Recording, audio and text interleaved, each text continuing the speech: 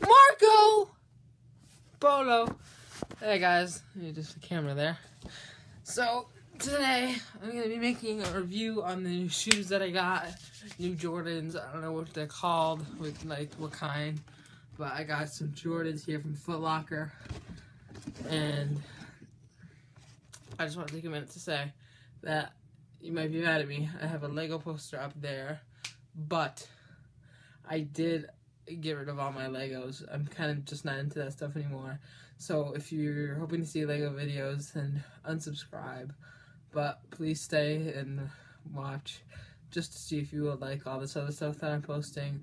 I have more Nerf stuff now back there under that poster.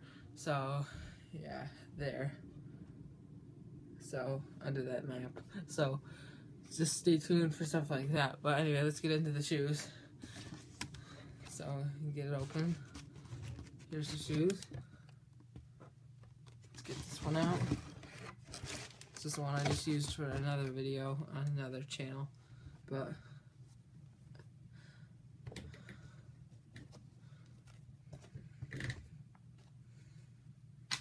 let me just pull the laces real quick. Here it is. It says 23 on the tag there. And this nice leather, white with black spots on the bottom. Leather, some fabric in here. This part, this part is leather here. This back part is leather. And it has uh, the Jumpman on the side.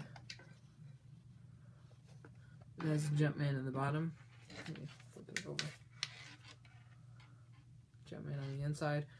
And again, 23 on the tag and it says Nike on the bottom, but you can't really see it. Nike on the bottom. And the bottom is black. You got something at the bottom there, but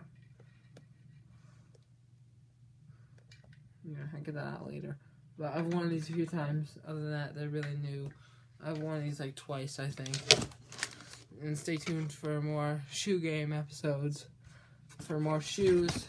And that's it for these Jordans. And I'll see you guys next time. And Marco Polo, goodbye.